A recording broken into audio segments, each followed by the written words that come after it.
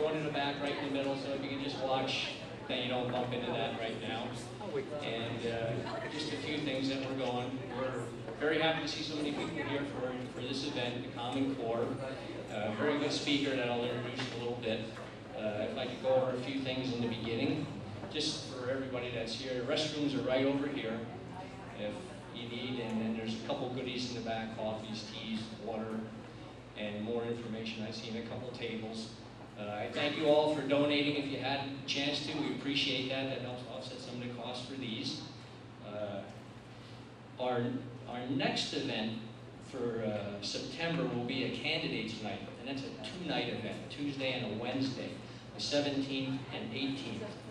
And we did that because there's a school board and then the uh, county commissioners, and we split that up so that uh, we're not overloading in one and too many, not enough time for the candidates and your questions for them. So that's, I have some flyers, and if you signed up on, uh, on our list in the front and gave us your email, we'll send you updates on every meeting that we have. Our site is a CEPTA PA, uh, at CEPTA Word, Geo, I forget now, I'm getting mixed up, CEPTA WordPress? CEPTA, cepta.wordpress.com. cepta.wordpress.com. And then we have the videos of our previous events that we've had here through the years, and uh, that you're welcome to go on and check out, and see what's going on. And we'll have this one up as soon as we can, so that if you have friends that couldn't make it, you can pass that along to them, and then they can see this also. Again, the candidates night next month. Uh, And say, if we could say the pledge to the flag, you mind rising.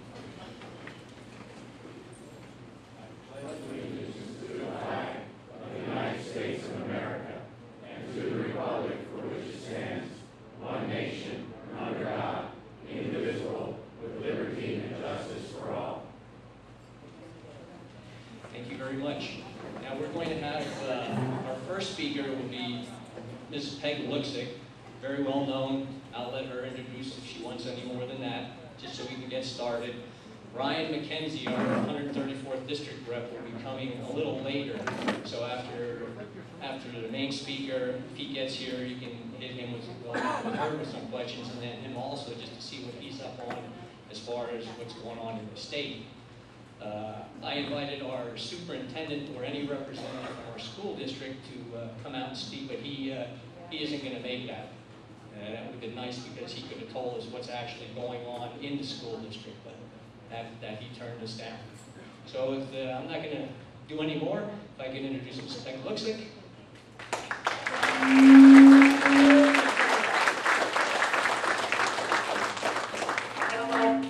Well, I put my tail on.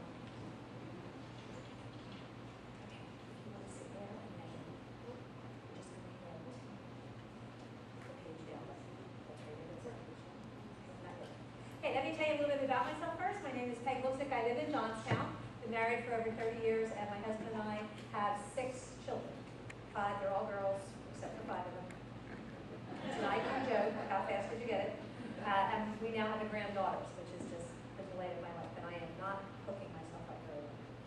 Uh, my background is in education. I am uh, both special ed and elementary ed. I have taught for over 35 years. I've taught everything from preschool through college. I've written curriculum, evaluated curriculum. For a number of years, I've worked for the U.S. Department of Education, and I, and I reviewed education reform initiatives. I was one of the people who got the grant you're going to see tonight, and I served as an advisor to the Reagan administration in his commission on the faculty. So I have a, a large background in both. My original degrees are both in special ed and elementary ed. So I've taught pretty much everything there is to teach. What you are going to see tonight is a presentation that is based on government documents. I did not write any of the words that you are going to see on the screen tonight. I used either grant applications that Pennsylvania submitted to Washington to receive money for uh, implementing Common Core. Why did I do that? For the same reason that when you go to the bank for a loan and the bank says, what's your income? And you say $500 and the bank says, that's cute. Show me your IRS tax return. Because you might be lying to the bank, but you probably didn't lie to the IRS. In the same way, when the state of Pennsylvania submits a grant application to the federal government to get money, they told the truth. So if they're telling you X, but the grant says Y, Y is what is true. Because otherwise it would be, they would be in trouble. Uh, you're also going to see training documents from the state or from the federal government, so you can um, verify. And the presentations that I give, they're dated. My website is foundedontruth.com. When you go there, and I would certainly encourage you to, there's a button called Common Core. If you click it, you will see the presentations are dated. So it'll say, uh, the next, the one that's going to go up this week was actually given on August 13th because it takes a while to make the video. You see the presentation for August 13th, and right underneath it are the hard, are all of the documents that I use, the entire PowerPoint, I give it to you so that you can download the documents and see them for yourself. So you don't have to take my word for it, you can actually double check everything that I do. And the video you're doing tonight, if you send me a copy, I'll put it on the website with the original documents right underneath it, so that you can verify everything that I said. That being said, we'll change the page down. Okay, now Common Core is neither a Democrat nor a Republican initiative. Actually, it has a very long history through several administrations, but so we're not here all night. We're going to give you the most uh, current application, and that begins with this uh, administration. When President Obama was elected, the U.S. government passed what was called the State Fiscal Stabilization Fund. The State Fiscal Stabilization Fund was part of the America Recovery and Reinvestment Act. That was the stimulus bill that we all remember. Inside the stimulus bill was a grant, an appropriation to the U.S. Department of Education for $53.6 billion, and you're actually looking at the U.S. Department of Education's website here. And the stabilization fund, that $56 billion, included the Race to the Top grant application, right there. So Race to the Top, which is what people talk about when they talk about Common Core, was actually part of this huge grant, but it was just one part. Again? Okay. That's okay. In order to get the grant application, the states had to agree to make progress toward rigorous college and career-ready standards and establish pre-K to college and career data systems. You notice the word rigorous. Whenever the proponents of Common Core talk about it, they always begin with the word rigorous. They never use a synonym, and they never don't say rigorous. It's a marketing technique. In marketing, it's called the law of the seventh mentioning. You have to hear it seven times in order to know that it went in your head. That's why you see television commercials so many times.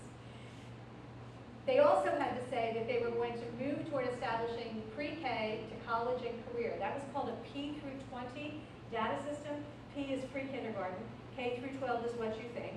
13, 14, 15, 16 is college. 17, 18, 19, 20 is career. So it starts with birth and it moves all the way through into the workforce. And they, the states had to agree to do those things in order to get the stabilization money. Now, when the federal government gives a grant, they give you a packet. All the states get the same packet. So because you have to read so many of them, they want them all to look the same. This is the packet that the federal government sent to all the states in order to apply for funding under the stabilization fund. Okay? The first page of it looks the same, and all the states, when they signed it, had to say that it was true and correct. That's just what it says on your income tax. To the best of your knowledge and belief, that's all true.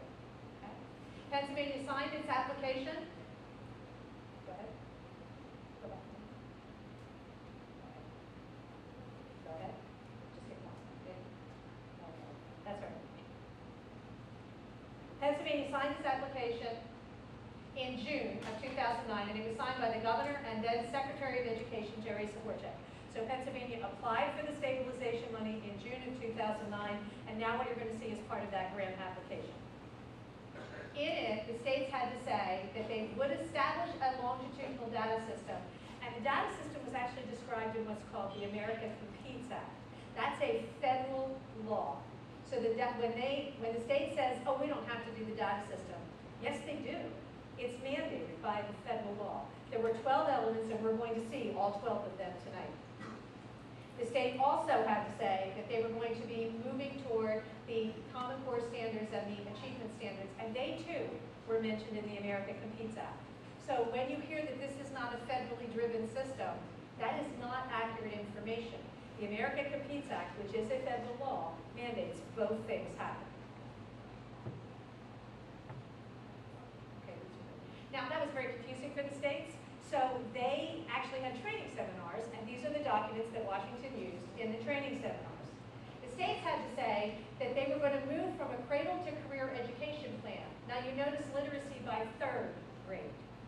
My kids could read at the end of first. So it's a slowing down of the process. When they interviewed one of the Common Core, one of the writers of the Common Core standards, what he said was, well, we're going to move more slowly. It- It's going to slow things down. And that's actually the words that he used in describing the, the Common Core. It also said that there was the standards and assessments that, that's remember, the American Competes Act, had to move toward it. And it's tied to instruction. Now, what the state says is, no, no, no. These are just standards. They're not curriculum. They're just standards. In my third grade math class, the standard is that every child will know the times tables. If you walked into my third grade math class, what would you see me teaching? Times tables. Standards without curriculum are meaningless. You can't have one without the other. Otherwise, the standard isn't worth the paper that it's written on. The curriculum must move to the standards. And if I'm going to test it, in a test that has high stakes, promotion, graduation, teacher evaluation, then you better believe that the curriculum is going to move to the standards. Right now, in Pennsylvania, the biggest complaint that you hear with the PSSAs is that in the month before the PSSAs, all that happens is that everybody teaches to the test. So standards and assessment control curriculum. It is kind of definitional to education. You can't separate them. It's like trying to, without breaking the egg, separating the yolk and the white. They're in the same egg. You can't take, you can't, you can't separate them as long as they're in the same egg. At the same time, how will the government know that you're doing that? Well, that's what the data systems are for. Now, data systems are not necessarily an evil thing. Every teacher had a data system. It's called a grade book. So, you know, when you walked in and said, why did little Susie get an 85? You could say, the teacher could open his book and say, well, because little Susie didn't do her homework three times. That's a book. That's a data system. The problem with this data system is that it goes all the way to the federal government, and you don't know what's in it. And you can't control what's in it, nor can you control who has access to it. So it becomes very different when the data system is run by the government. Now, how did it work? Well, the, you started by reviewing, the states had to review their existing assessments and reform plans. They used federal money, that's the middle, ARA, that's the stimulus bill. Title I. Title I is the granddaddy federal funding mechanism that moves money from the federal government down to the states. All federal money is tied into this.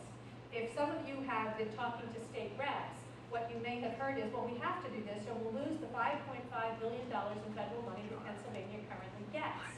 So we can't back out because they've tied all the federal money. Now, they will say that, is that true? No. Texas isn't doing this and they're still getting their federal money. Totally aside from the fact that the federal government shouldn't be involved in education at all, period. They, to use this as a, as a stick over the states is just a false stick. So they review, they had to revise what they did, and then they send it to Washington, and Washington looks at everything they did. Part of what they look at is the data system, and if they did the first two correctly, they could get the second half of their stabilization fund money. It came in two parts. So you did the first part, and if you did everything right, then you could get the second part. It was like a leash from the federal government to the states. In the first application, the state said, we're going to fill in the blank, fill in the blank, and then they had to do an upgrade, and if you did it, you got the second half of your money. Only after you did all of that could you apply for Race to the Top money. You couldn't even ask for Race to the Top money unless you had complied with the stabilization fund, moved to these standards and assessments, and implemented the database. What you hear from the department is there's no new database associated with Common Core. The operative word in that sentence is new. They are not creating the database right now. It already exists. So what's in the data system? Well, this is the federal uh, document that talks about what's in the data system. They, it comes from, you see NCES? That's the National Center for Education Statistics. That's a, a federal agency. And what they were talking about here is where the states were in putting data in. At the time this was written, which was 2009, Pennsylvania was in the process of putting its college data into the national database. In 2009, we had not yet begun to put workforce data in. We have since corrected. What did they say we wanted to do? Well, they want to add early childhood, post-secondary, and labor data to the systems. They want to connect teachers and students. Why? Because, you know, the government keeps trying to get involved in education. And good teachers look at some of these things and say, "Yeah, somebody's giving me a doctorate. And then they close their door and do what works. But now the teachers have an identification number too, so they can match the teacher to the student. And the teachers are evaluated depending on how well they comply as well. So it's a way to force the teachers into the system. Uh, they're going to provide data to research, community, and public stakeholders. Now, there, there is a federal law called the Federal Education Rights and Privacy Act that talked about how data could be shared. Two years ago, the regulations around that law were changed to say that anyone with a legitimate educational interest could have access to the data. Legitimate educational interest is defined to include researchers and vendors to the school. Anyone who sells educational products to the school should be allowed to have access to the data. If there's the America Competes Act, these were the required elements. All the state's data systems had to have all 12 of these elements to be in compliance with the America Competes Act. Student enrollment information, information on graduates, state assessment scores, information on students not tested. In other words, if you opted your child out of the state assessment or your school didn't give it, they got the information another way. College readiness, teacher identifier. Every teacher in the system has their own identification number so they can track how well they're complying. They can now match the student, the teacher to the students in the class to how those students do so that we can hold the individual teacher accountable as well. Student transcript information, how they do in college, an audit system, ability to share data from preschool through college, and unique student identifiers. Every student in a public, private, or residential facility in the state of Pennsylvania from kindergarten through grade 12 has an identification number attached to him or her right now. Now, the department says, and I've spoken to department officials, well, no, see, there's a database here that has the student name and the information, and then there's one over here that has the number and the information, and the people who work on the number side don't work on the name side, and the people who work on the name side don't work on the number side. And I looked at the person and said, okay, so if student number 12 is a male with this birth date in this school system, in Mrs. Wolfenspiel's sec- second grade class, who has a 2.5 grade point average and who lives with both of his parents and their income is between 25 and $30,000 a year, do you think I can find him? Do I need his name? And the database includes demographic elements, which we will see tonight. Now, the way that the feds put this together, it includes post-secondary information, early education, that's like if your kid goes to a preschool, information on the teachers, so they're actually collecting demographic information on teachers as well to make sure they comply, labor data, English language, financial data, health records, and then if you go to a neighboring state. And people say, well, how did they get my financial data? Many schools now, for their, uh, to see if your kid qualifies for the free or reduced lunch program, are requiring you to submit your income tax returns. And now they have your financial data. And you have to give vaccination records, and there's an annual and now they have your health records as well. So it's all in the same database. And do they have it right now? Yes, they do. Now, in the testimony in front of the Senate Education Committee this spring, as all of these kinds of topics were brought up, one of the proponents of Common Core said Pennsylvania only got $41 million from Race to the Top. And that's not enough to make a state change its whole educational policy. Pennsylvania got $1.9 billion dollars in stabilization funds. And those were the funds that said you had to establish the database and move to these standards. Is that enough to change the state's behavior? Oh, yes, it certainly is. And we've already received that money. Now, at the Washington level, there's a move in the U.S. House of Representatives to defund Common Core. And when the um, U.S. House creates legislation, the study groups for both parties kind of give you an analysis of what does the legislation do and not do. This is the analysis. Uh, it was in the legislative bulletin.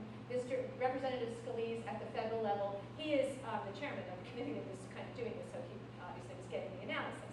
And what he said was that the administration is using a carrot and a stick approach to Common Core. The carrot was the race to the top money.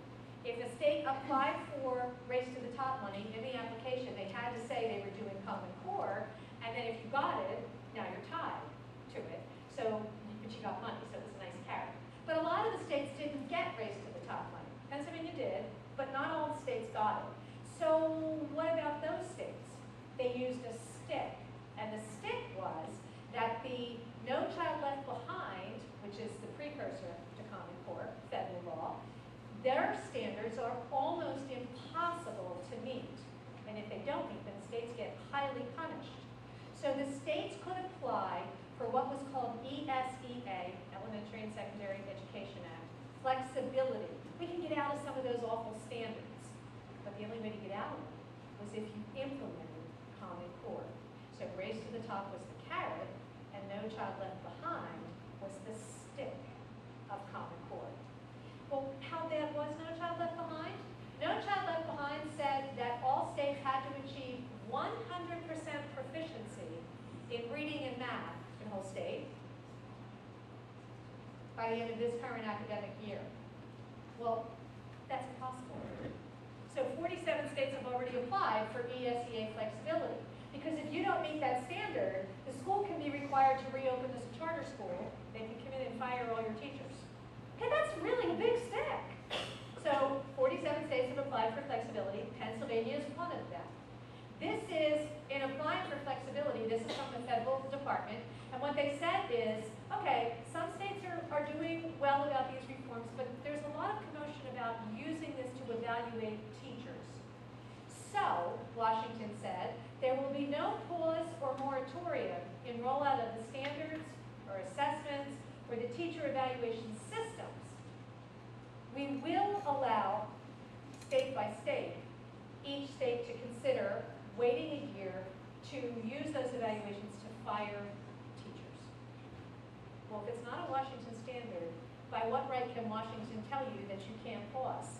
If it's state-driven, this wouldn't be happening. Washington couldn't be saying this unless Washington was in charge.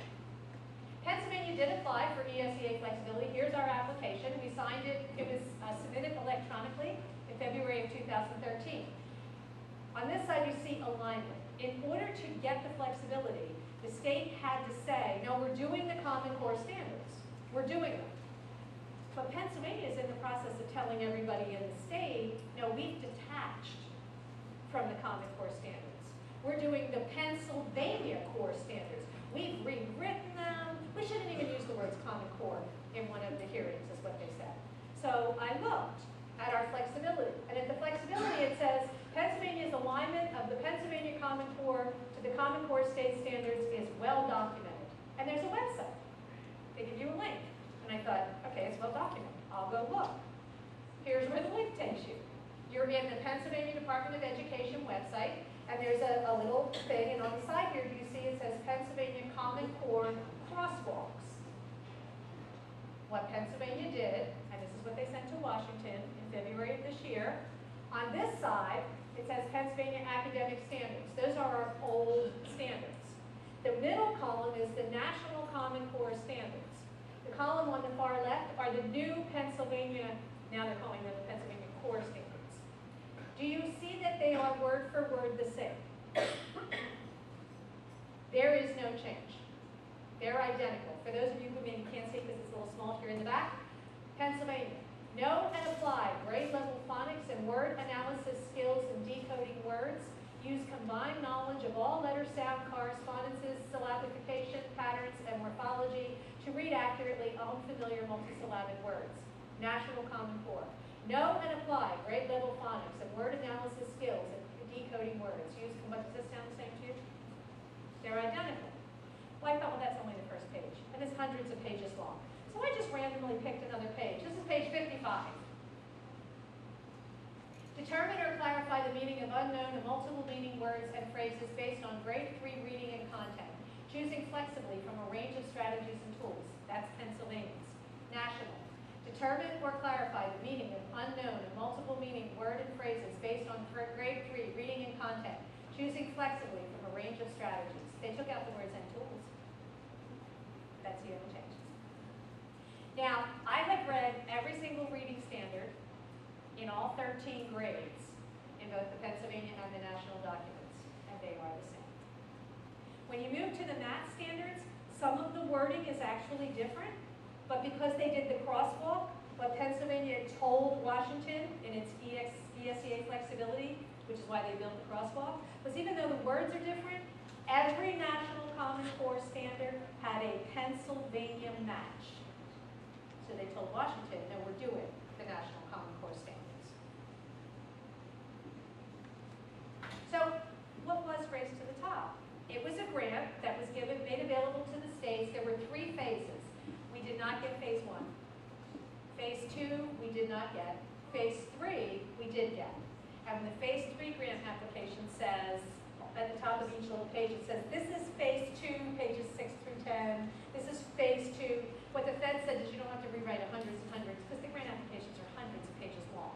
So they said you could just, like, give us phase two and a little update, and that would be phase three. So phase two would be the controlling application, and that's the language that we're gonna look at tonight. Now, the standards, the states had to say that they would adopt them by August the 2nd of 2010. That was the drop dead date. So not only did the federal government tell them that they had to adopt standards, they gave them a final deadline by which it had to be done. And that deadline was August the 2nd of 2010. Pennsylvania's Race to the Top grant application was signed by Ed Rendell and the president of the state board and the um, chief state school officer, who's our Secretary of Education. It was submitted in May of 2010. The application didn't just say that it's true. Above their signatures, it says, I certify that I've read this, I'm committed to it, and I will support its implementation. That is a much higher standard. Why did Washington do that? Because they didn't want, you know, the hearings with the IRS? I don't recall, I didn't know, I'm not sure, I wasn't there. They weren't allowed to do any of that. This makes it so that you did recall, and you did promise, and you will do it. So it was a much higher standard of commitment that this grant application required of every one of the states. The grant gave us the definition of Common Core. The standards are content standards that define what students must know and be able to do that are substantially identical across all the states. The state could add some standards, but what you added couldn't be more than 15% of the total. Why could they, why did they give them that? Because the states have different things in state law. For example, Pennsylvania state law says um, you're going to learn American history and Pennsylvania history. But Indiana state law says you're going to learn American history and Indiana history. And since that's mandated by the legislature, it couldn't change. So they gave them that kind of flexibility to make room for those kinds of options that already exist inside each state. But the Common Core standards, they all had to be done. They couldn't subtract any, which is why in the crosswalk, every Common Core standard has a Pennsylvania connection, because they couldn't subtract any of the standards. Pennsylvania said that we're going to adopt the standards by August of 2010, and as soon as the state board does it, every school district and every charter school in the state is mandated to make this the basis for their curriculum. There's no choice. Once the state board did it, everybody is tied to this. They also said, well, how are we going to know? We're going to create what's called a Standards Aligned System Portal. That's a website. The little crosswalk we saw is actually on that website. That's where I went to find it. And it will contain the standards and it will contain all the curriculum so that the teachers can just go there using their identification number, so we'll know which teachers went and which teachers didn't go and how often they went. And they can find the curriculum that exactly matches the particular standards that they're supposed to be teaching. Now, Pennsylvania said in its timeline, because they had to tell Washington, not just we will adopt the standards, but yeah, give us the specifics on that. So Pennsylvania said, okay, if we receive the standards by June 2nd, we'll meet the August 2nd target. Really? This is dated in May, remember?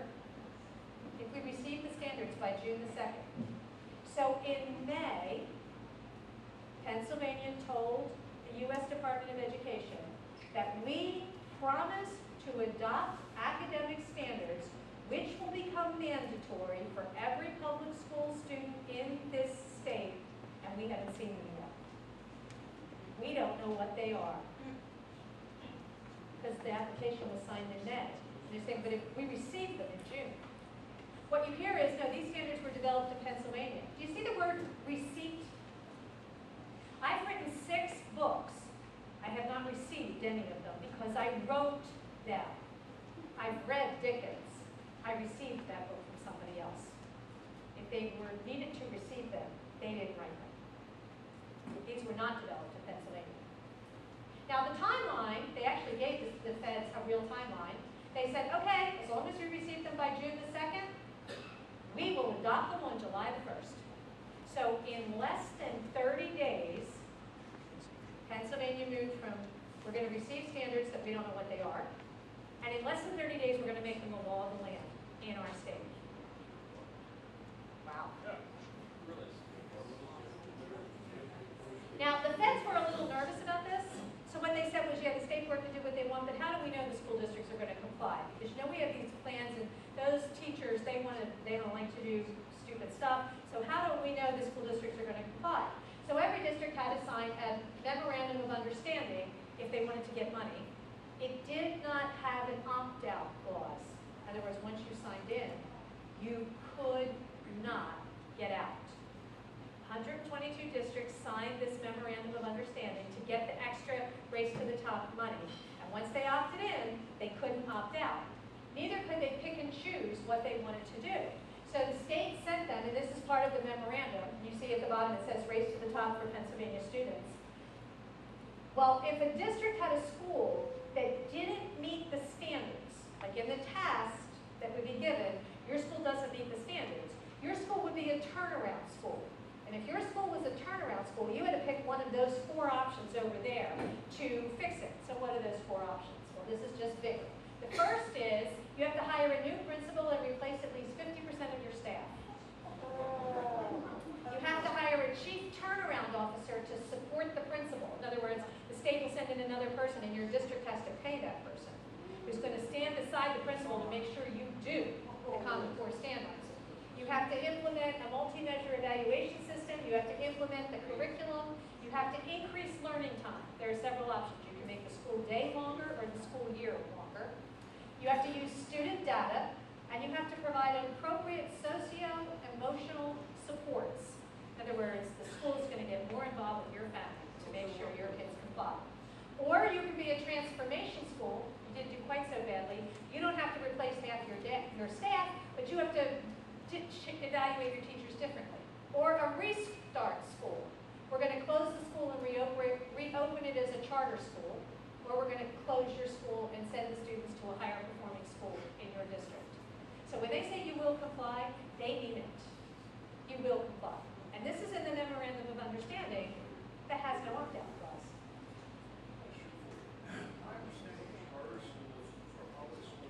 They are. Yeah, they're, they're, yes, some of them are for profit, some of them are non-profit, different governments. I'm gonna interrupt here and say, Exactly. save the you now save questions for questions later so yes, everybody We'll can come back to that again. Sorry. That's okay. The schools also had to agree to implement the curriculum, and they had to agree to make the data okay, available to researchers. So the data they're collecting had to be available. Now in Pennsylvania, the state sent out this, the department sent out a fact sheet, and it said, the curriculum and other classroom tools are determined solely by the local school districts and their personnel. In other words, you can do whatever you want with me give you an example to show you how silly this is. The standard is, everybody has to make this chocolate cake. Do you see my chocolate cake? It's a wonderful chocolate cake. And the standard is you have to make a chocolate cake that tastes just like this one and has the same texture as this one. And the assessment is I'm going to come and taste it. How many recipes are there going to be? One. Because if there's, if you don't use my recipe, you won't get my cake. Now, if the state says, you can have any recipe you want,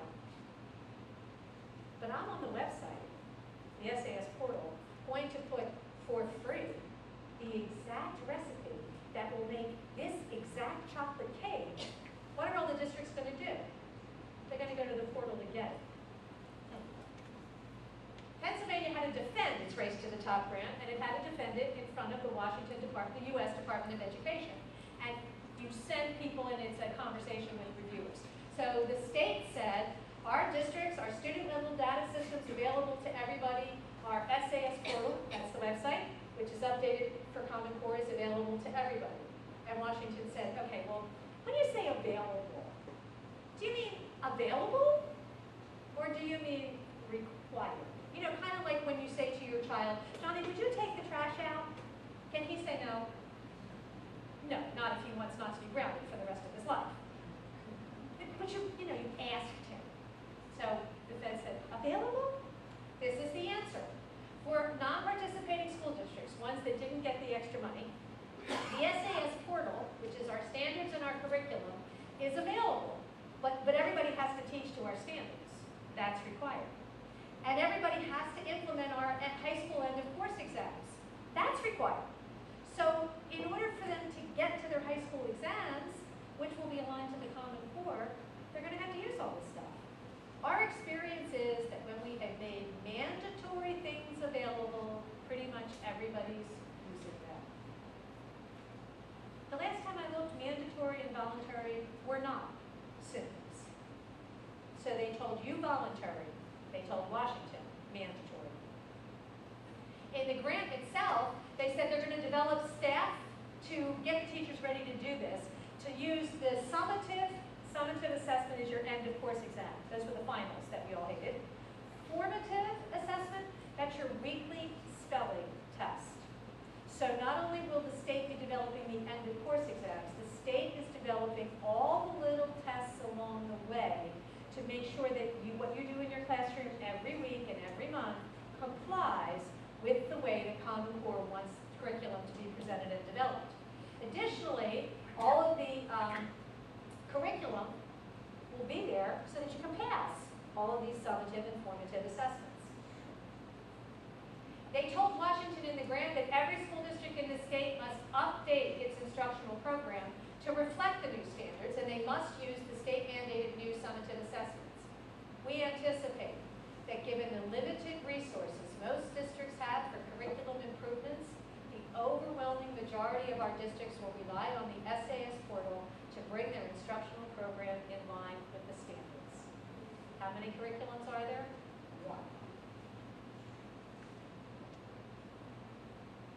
Pennsylvania is developing what are called computer adaptive tests. What does that mean? A computer adaptive test means as you answer, the computer changes the next question. So maybe it can make it easier. Or maybe it can circle you around again so you will comply. How does that look in real practice? I'm a telemarketer. I sell purple shoes. You should never sit in front of me. I'm going to use an example. I sell purple shoes. So I'm going to call you and I'm going to say, good evening, sir. Do you wear shoes? And you're going to say yes or no. Do you like purple? And you're going to say yes or no. Do you buy all the shoes for your family? And you're going to tell me. That's a pre-test. I'm learning something about you. Now I'm going to give you my sales pitch. That's the curriculum. When I'm done, I'm going to say, should I put that in your visa or your master charge? That's the assessment. I am testing you to see if you learned the curriculum about my wonderful shoes. And if you say visa, congratulations, you may graduate from this conversation. But if you say no, I'm going to say, well, why not? What is your objection? That's a diagnosis. I'm finding out why did you not pass the test? And you're going to tell me. And then I'm going to answer you. That's remediation. I'm fixing you. And when I'm done, I'm going to say, should I put that on your Visa or your MasterCard? That's a re-assessment. I'm testing you again to see if you met the standard. Now, most of us are very polite, and we let that telemarketer go through twice before we say, okay, should we on to somebody else? A child in a classroom cannot hang up the phone. He will sit in front of that computer until he complies. Computer adaptive testing. They are going to, we already saw how they're holding the locals accountable for performance, and they've repeated that multiple times in the grant. Now, in this, the state had to tell Washington, how are we going to pay for this? And how much is this going to cost? So this is what Pennsylvania said would be necessary to implement Common Core. They're going to hire a project director, two program directors, two more directors for the charter schools and the state turnaround office, 21 project management staff. They're going to create a consortium for research and staff it with resident scholars. We don't know how many of those there are or how much that will cost. They're going to hire 220 additional uh, IU experts to help this rollout and an undetermined number of external service providers. And how much did they say that would cost? They said they needed 400 million in Race to the Top, and they would combine it with 140 million in school improvement funds and 2.6 billion in state money. And that's what they said would be necessary and sufficient to meet the, right, the Common Core. So what did the state tell Washington that it would cost to implement Common Core? 400 million and 140 million and 3 billion is 3.14 billion dollars. That's pretty amazing, isn't it? When they went in front of the final review commission, the same state board that signed off on this, told to get the, this finally approved, they told that commission this would be free. And the commission went, go back and get us a real number. They really aren't giving anybody in Pennsylvania a real number, but in this grant, they gave Washington a real number, and that number is more than three billion dollars. And that does not count the fact that they said on top of that, the local districts would be expected to say, how are they gonna pay for the signing bonuses and the extra work and all the extra costs? And nobody knows how much that's gonna be. Now, you've heard a lot about who's funding Common Core. This is the Bill and Melinda Gates Foundation. In 2010, the Bill and Melinda Gates Foundation gave the Pennsylvania Department of Education $526,000 to implement Common Core. Foundations like that don't just walk around and hand out checks. In order to get money from a foundation, you have to submit an application. You have to say, uh, this is how much money I need and this is what I'm going to do with it. And we're going to use our money to support your money in this way. And then when you're done, you have to give the foundation a report on what you did with their money to accomplish their purposes. So we have a taxpayer-funded institution in the state of Pennsylvania telling a private citizen who does not even live in Pennsylvania that we're going to, that that taxpayer-funded department is going to do the purposes of this private citizen. That's kind of an upside down way to do public policy, isn't it? So you've got a private individual driving public policy in our state. Now, I attended a training session on Common Core. These slides are not the best quality because I took a picture of a slide, scanned it, and put it back in the slide. So they're a little fuzzy. The blue is because um, the person I got these slides from, I didn't want the blue so dark, so I didn't give you their name. First, they talked about rigor. Do you remember rigorous standards? So this is math rigor. Rigor is approaching math with a disposition to accept challenge and apply effort. Rigor is not difficult, like AP Calculus. In fact, this year, the vice president of the college boards uh, spoke at a national seminar, and what he said is calculus is really not part of the college board's sequence, and they're thinking of eliminating AP Calculus from their list, and that most children shouldn't even think about taking it because they won't get there. You should instead, he said, think about taking AP Statistics, because unless you are chosen to be in the engineering track, calculus is not really part of the Common Core sequence. It's outside the sequence because we're going to slow it down. What he said is they will learn less content, but they'll learn it better. In line with that, Pennsylvania's uh, secondary testing, in order to pass high school in the state of Pennsylvania, you must pass an Algebra 1 exam. You don't have to pass anything higher than that. And when this came up at that training session, I'm in a room filled with other teachers who all went, wait, Algebra 1? And the response from the representative of the state was, well, these are career ready, and if you have a career in a service job, service industry, you don't need more than Algebra 1. This is the reading. On this side, what these were the examples that we were given, was in the old way, this is how children were tested in reading. And it said, the baker most likely behaves as he does because he lacks, and there's four things there. So, you know, you can read the story and answer the question.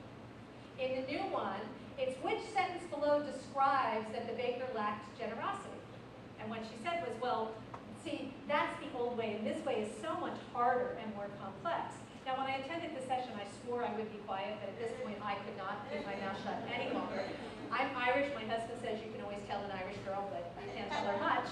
And at that moment, I lived right up to that expectation, and I said, no, no, no. That side is harder. They have to read the story. They have to figure out how the baker behaved. They have to analyze what the baker did and come to a conclusion.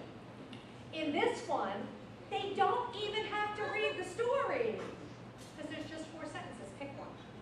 How is that better reading? They don't even have to read the story.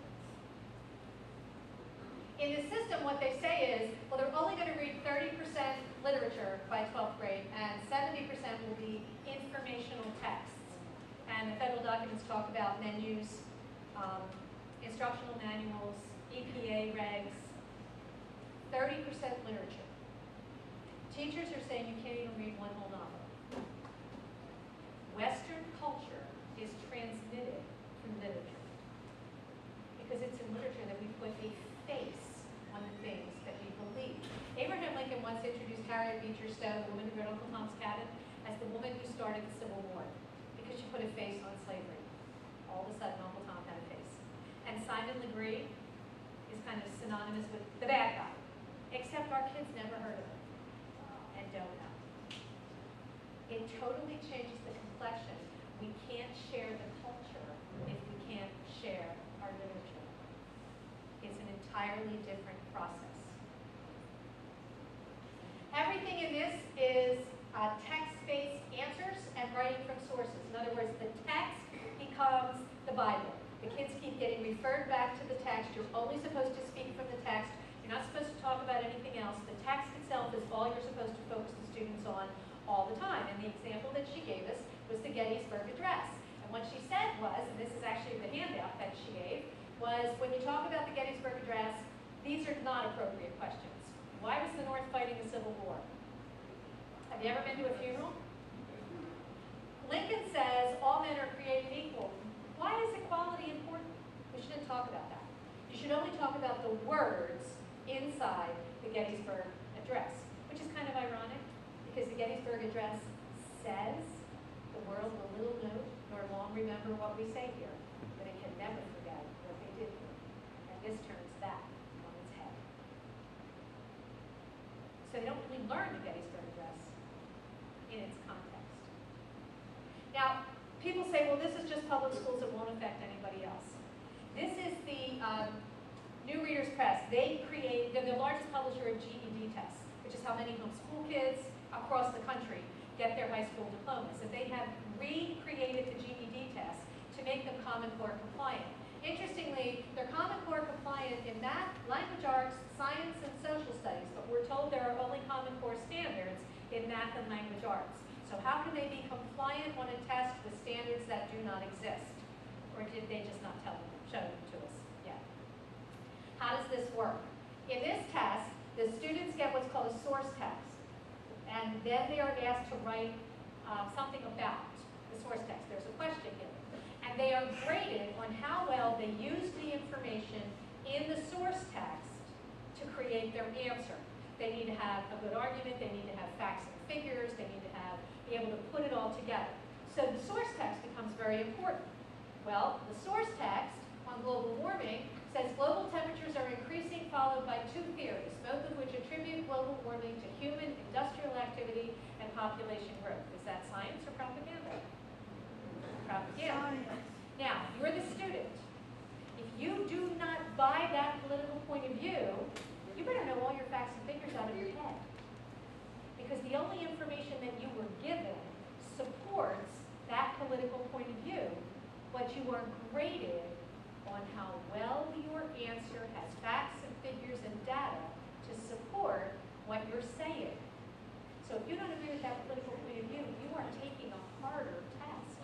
Because how many high school kids know all those facts and figures out of their head? So basically, that's not a reading test, that's a political test.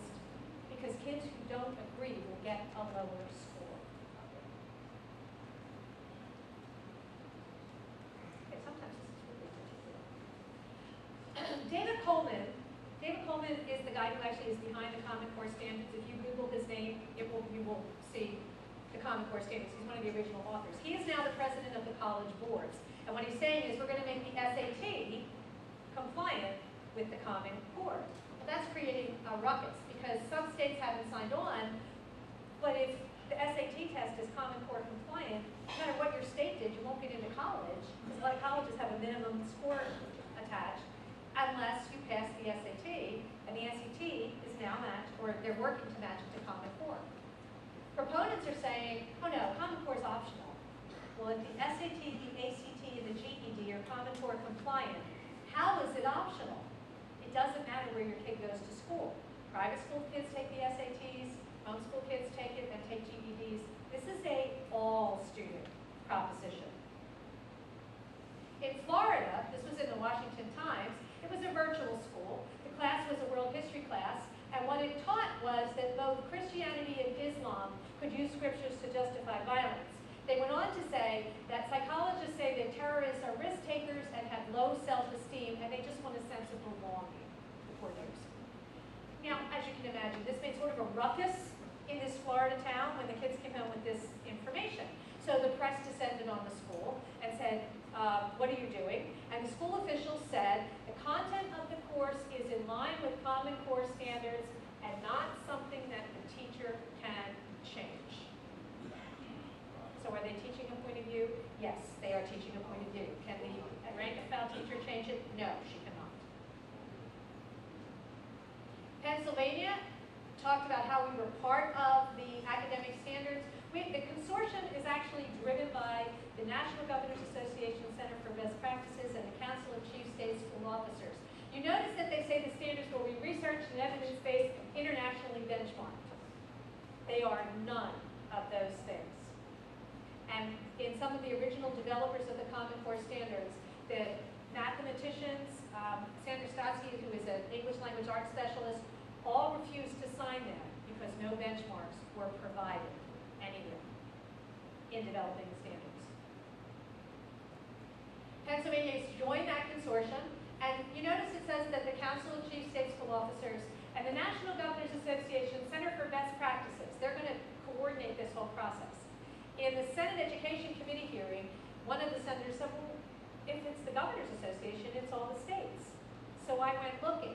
The NGA Center is not the Governors Association. It is a separate, nonprofit organization that has a separate tax exempt status, files a separate tax return, and has a separate board of directors. It is not the governors. It is a private entity that receives money from the federal government. They receive some money from the governors, and they receive a bunch from private foundations. When the states adopted the Common Core standards, they had three years to implement them. So you remember we adopted them on July 1st of 2010, count to three? That's why the schools are doing it now. The contract said you had three years to implement. That's why they can't stop, because we took Race to the Top money, and the feds gave us a deadline to adopt the standards and then a deadline to implement changes in our educational system.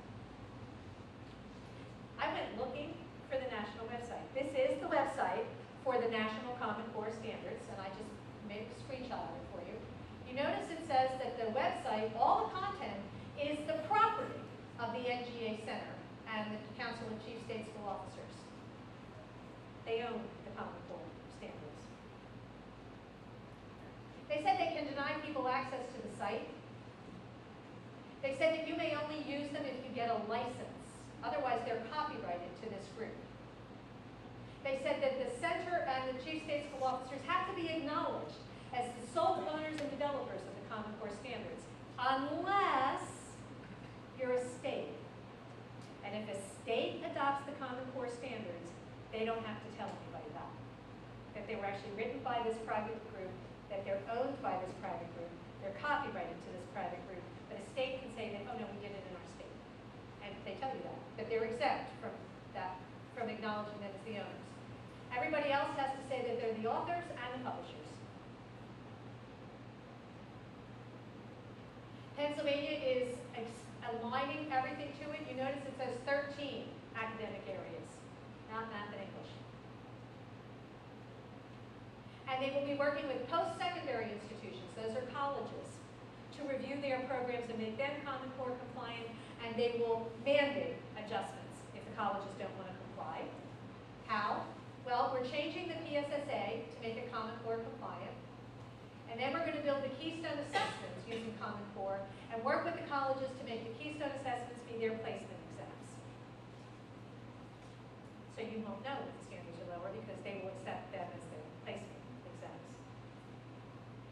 How are they moving? Do you remember in that you saw with the stabilization fund, you reviewed what you had, you had to revise what you had to get the money? So Pennsylvania took our, our uh, state assessment system, this is how they revised it. Note that the transition is contingent upon approval from the United States Department of Education. Why is the United States Department of Education approving a state test if this is a state initiative and there's no federal involvement? I control the test, I control everything. What does it say? It says that all 11th grade students have to take the three keystone tests. Algebra 1, biology, literature. You have to pass Algebra 1 by 11th grade. If you pass it early, non-11th grade students' results will be banked. In other words, we're going to set them aside, and when that child goes to 11th grade, then we'll put their results in the database to say, see, they all made it. So not only do you only have to pass Algebra 1, you don't have to pass Algebra 1 until you get into 11th grade. You have that long to do it. It started, uh, the 11th grade students started last year. And there's the graduation requirements. So you see, yes, Algebra 1 literature to graduate at a class that was in 8th grade last year is the first one that is going to be tied into this standard. So why am I looking for the Keystone exams? The state, the last date that they had their report up was the 2011 exams. They didn't give them in 2012. 2013, they only gave it a couple months ago, so all the documents aren't up yet. So the last one that you can see is 2011. They gave it to 94,000 students. And what they say is, this is a criterion reference test. What does that mean? There's two ways to do a test. You can do a norm reference test, grading on the curve. You remember you the kid that got 100 because that pulled the curve up. Or you can do a criterion reference test. That's your weekly spelling test. If every kid got every spelling word right, every kid got 100. If every kid got every spelling word wrong, every kid got a zero. You were graded against the information. Didn't matter how your neighbor did. This is a criterion reference test. When you give a criterion reference test and you say it is valid and reliable, in other words, we can count on it, everybody has to take the same test under the same conditions. Remember when you were a kid and you took the Iowa tests or the whatever achievement test you took? Pick your pencils up. Somebody sat there with a stopwatch. Put your pencils down. Because the only way we could know that the results were accurate was that everybody did the same test under the same conditions. This is a criterion reference test, and the state says it's valid and reliable. And then they tell us students are given additional time as necessary to complete the exam. That's either valid or reliable. Because you don't know how long any kid took to take the test. They also told us, well, you could be graded as advanced, proficient, basic, or below basic. Advanced was superior performance, proficient was satisfactory, basic was marginal, below basic was inadequate. Do you have any idea what those words mean? Neither does anybody else. When you give a criterion reference test, you set up the standard publicly and it has to be able to be defined before you start. Your kid's school says to get an A, you need between a 90 and a 100. To get an 89, you get a B. That's a criterion. Everybody knows what it is. It's right out in front. We, that's the criterion is set before the test, and it's public. Everybody knows exactly what the lines are. Do we have any idea what those lines are? No. But Pennsylvania tells us in the summary report. Uh, 20% were below basic, 41% were basic. That's failure. So over 60% of the kids failed this exam. 27% were proficient and 11 were advanced, so about 38, 39% passed the exam. And then they give us a chart. Now, do you see, operations with real numbers and expressions, you could get nine points. In order to pass, you had to get three of them. So if you got a thirty-three percent, you passed. Parents weren't told that passing was three out of nine. Parents were just told your child got a proficient. But you didn't know what the standard was. And you don't know if that's the same as last year or next year. At no point did a kid have to get more than sixty percent right to get a proficient. No school I know in a classical education setting considers a sixty percent passing and definitely thirty-three percent isn't passing. And if you're only knowing thirty-three to sixty percent of Algebra One, there's no way on the planet that you're gonna pass Algebra Two or Trig. But yet, they're gonna learn less content but know it better. Thirty-three percent, that's not knowing it better. Then the state said, well, these are the median scores, and they define median, the point where half the kids got above and half the kids got below. And thirty-four percent of the students got the point at which fifty percent got above and fifty percent got below. That person was not one that got the three points. Because if the median is 50-50, then fifty percent are above and fifty percent are below. You can't have thirty-four percent above a median. Or it's not a median, because it's the halfway point. So that's not even statistically valid. By 2013, Pennsylvania's data system will have the ability to track students from birth to the workforce and will support analysis at every level, from preschool through post-secondary. In 2005, the state assigned new student identifiers to 100 school districts, and by 2007, every student in every school district had a number. You asked if it was right now? Yes. We are, by the time this grant was written, one of the only states with a single, integrated early childhood to post-secondary data system. We told Washington in our Race to the Top application that our longitudinal data system had all 12 of those elements in the American Competes Act. We're going to look at two of them tonight. One says the requirement is over here on the left. Student level enrollment, demographic, and program participation. Student level, that's individual. Pennsylvania collects the necessary student level enrollment, demographic, and program participation information. Is there individual students in the database? Yes. Is it demographic information? Yes. Did they tell Washington that it was? Yes. Requirement, yearly test records of individual students with respect to assessments. Pennsylvania currently collects student level data on all state assessments. By name. But by student level means individual child. That's individual students, student level means it's not a, it's not a group, it's one kid. So kid by kid. So is there a database? Yes. Is there individual student information in it? Yes. And we told Washington that there was.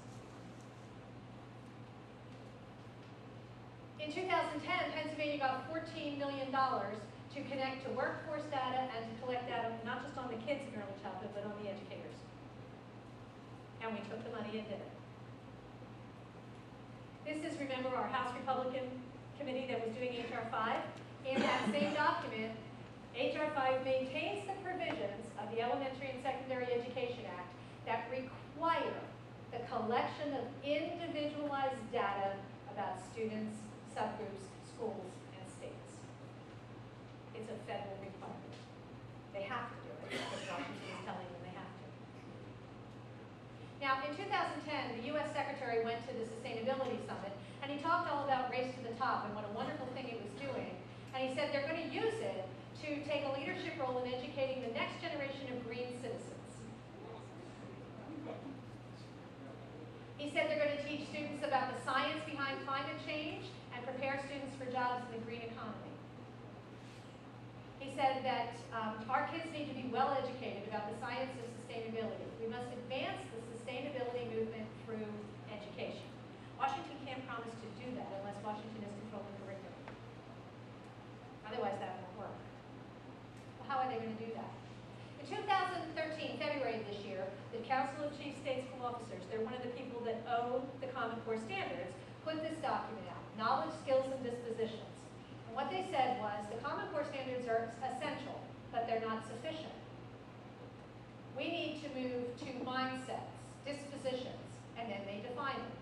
Agency, initiative, resilience, adaptability, leadership, ethical behavior, right, don't we all want Washington teaching about ethical behavior?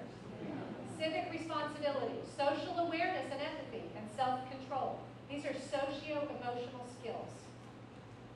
And what they're saying is, well, we need to move, so that the goal of the educational system is this college, career, and citizenship readiness.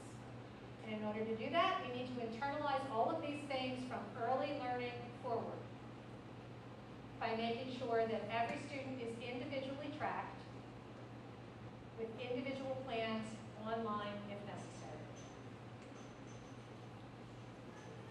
I always believe in ending with a happy note.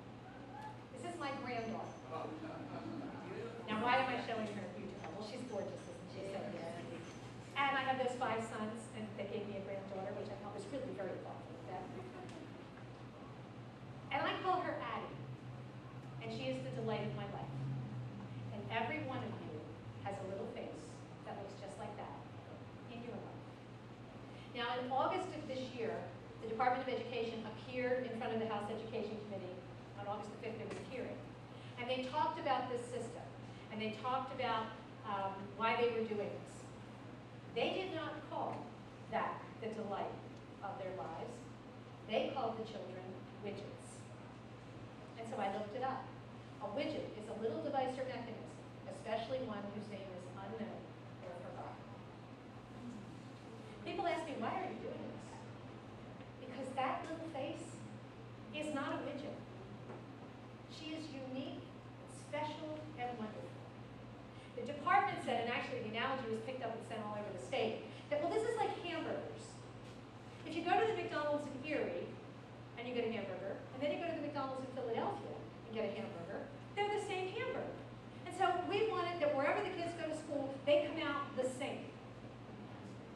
Okay, well, the reason that hamburgers come out the same is that the ground meat was all the same when you started, and then you apply the same recipe, and nobody would consider McDonald's the epitome of a gourmet hamburger. It's the lowest standard. But our children are not grown, and they are not the same, and they do not respond the same. They need an educational system that does not treat them or call them widgets. They need an educational system that is tailored to their individual needs, where the state mandates opportunity standards. Schools will not insane achievement standards. Students will learn. How do you mandate that somebody learns? That's impossible. That's impossible. In classical education, when America really was leading the world, we mandated what schools taught. We provided opportunities to children, no matter where they came from, so that their past did not determine their future. This system turns that on its head and basically says, we're going to take all these little widgets and we're going to stamp them out at the lowest level so they're all the same. There is no way on the planet that I'm going to sit still and let that happen without giving them the fight of my life. And for the sake of the little faces like that in your life, I invite you to join me. Thank you.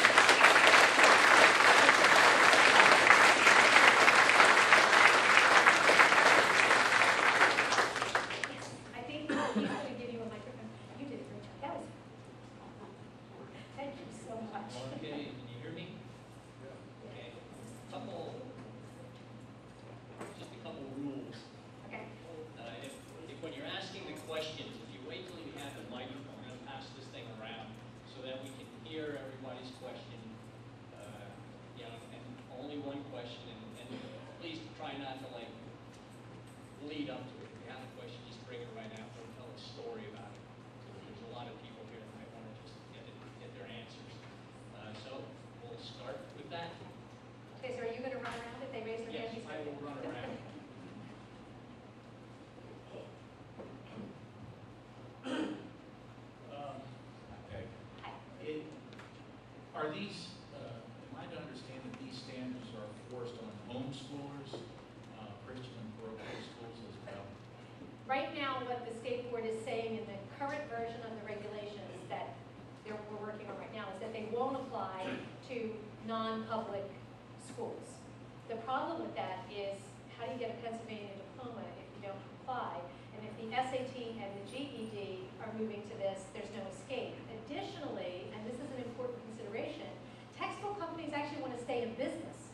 companies actually want to. So they're change the textbooks, if all the states are that way, they're gonna move their textbooks to that, which will make it increasingly difficult to find information that is not Common Core compliant.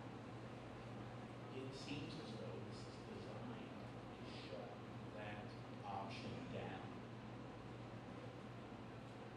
Many people agree with you. Thank you. Uh, this gentleman here had a question, I told him to wait, so let him, because he was very. You answer what I want to ask. Okay. I'll tell you what, can you, s- can you ask it again because I They didn't hear it, interrupted all okay. kinds of stuff. Do you remember what it was? Yeah, he asked me about charter schools. My brother was a teacher in a charter school and had nightmare stories to tell me about things he experienced. My brother was a teacher at a charter school and, um, they dealt with problem kids from the city and the options they had to deal with these kids was extremely limited and the things that would never be tolerated in public schools, they had to tolerate. And kids were being passed that never should have been. So that was my question is, we're gonna turn, some of these public schools are gonna become for-profit schools. And the problem we had with this charter school was the bottom line, was the bottom dollar, and how much the shareholders were making in the school. Um, some charter schools are for-profit, some are not, so it varies, but they are governed very differently than a regular public school, because you don't have, you don't have a, a publicly elected school board, so it's a whole different structure. They are still considered public schools, and yeah, there are a lot of issues with, uh, some of them outside the control of the charter schools, but they don't, they're kind of in an odd place legally, so that it's, they're not evil or bad, there's, it's just a kind of a complicated relationship that they have. But they are mandated to do this just like public school.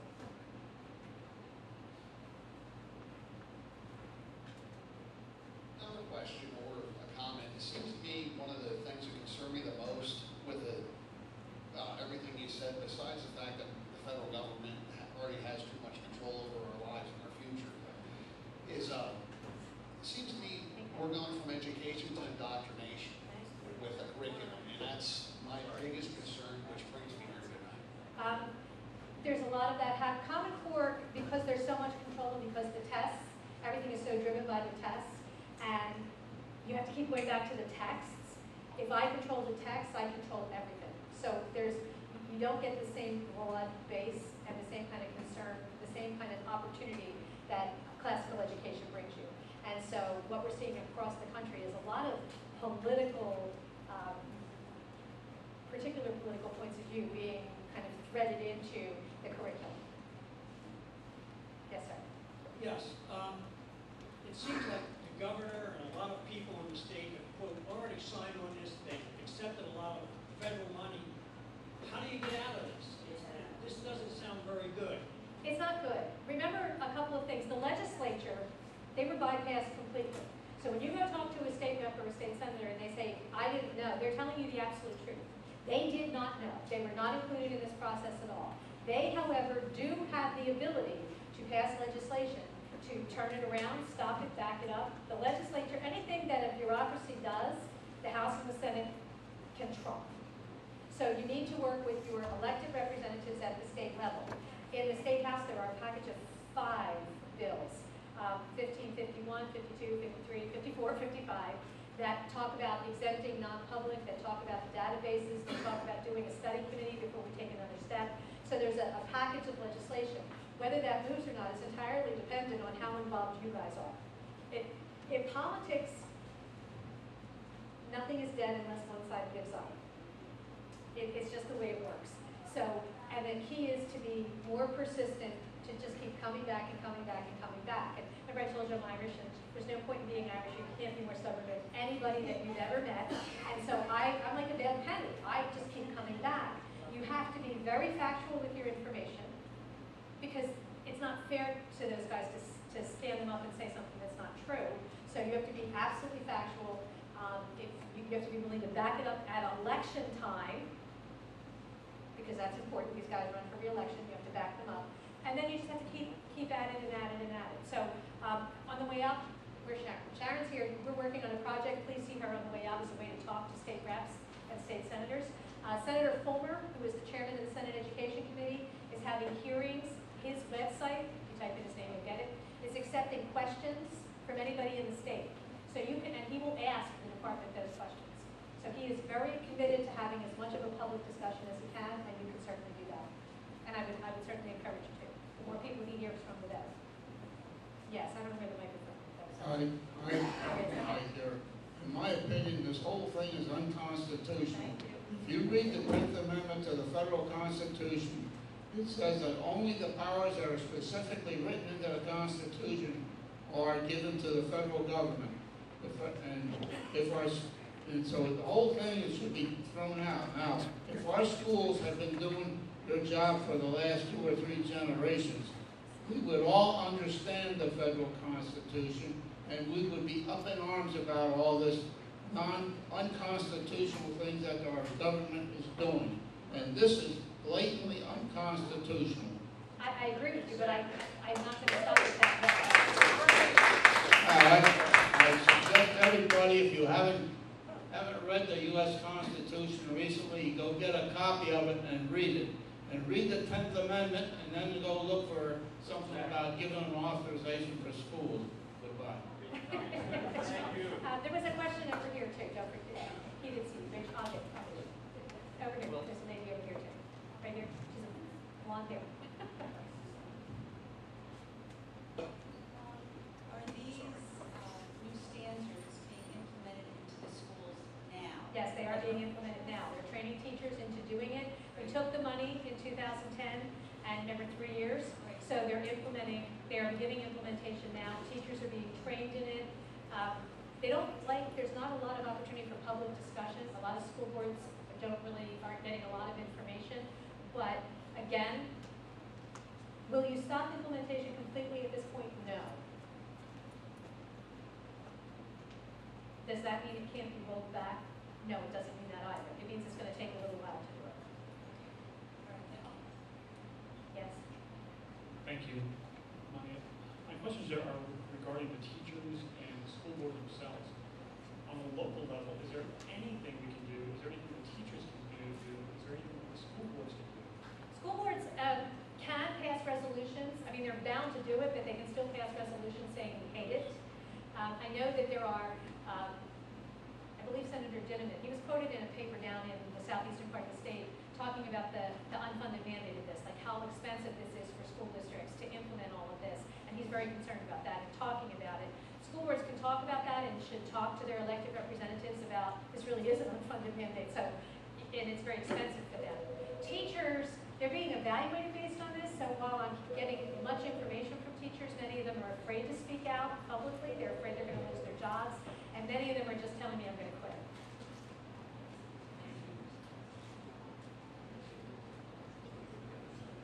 He's coming.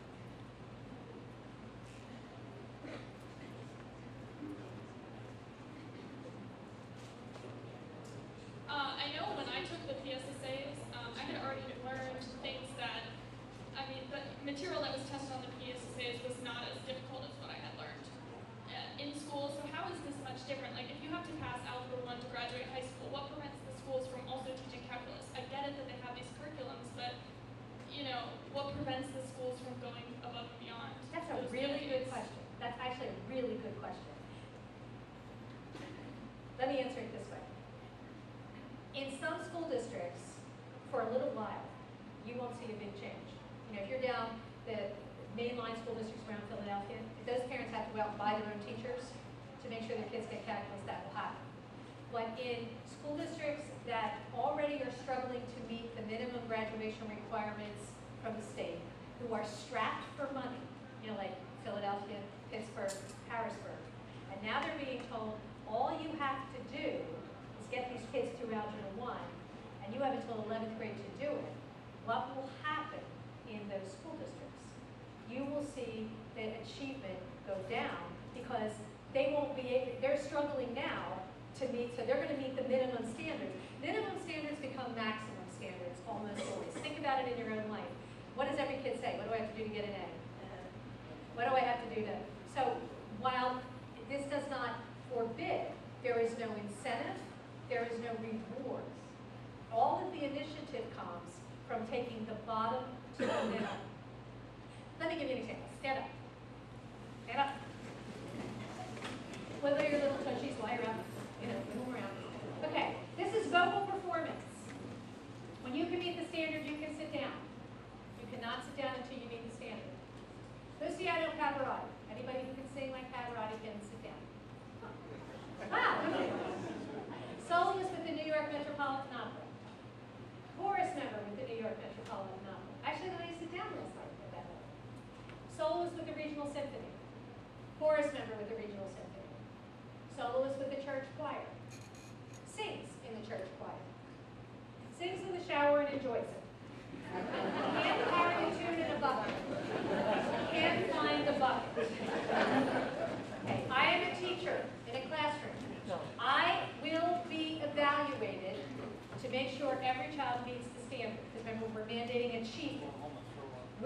have to put the bar for all the kids to reach it? Where did you all sit down? Sings in the shower and enjoys it. I am a teacher in a classroom. I am evaluated if every, based on every kid meeting that minimum standard. Where am I gonna spend all my time? If Mr. and Mrs. can't find the bucket to get them up to sings in the shower and enjoys it, what happens to the child for the standard should have been Cadwell? He's lost. The whole, it turns the structure around and focuses everybody on the bottom instead of the top. Districts are evaluated based on everybody meeting those minimum standards, but there's no incentive to go beyond those minimum standards. So as money gets tight, and school districts' money is tight, think about the pension crisis that's coming. School districts have money problems.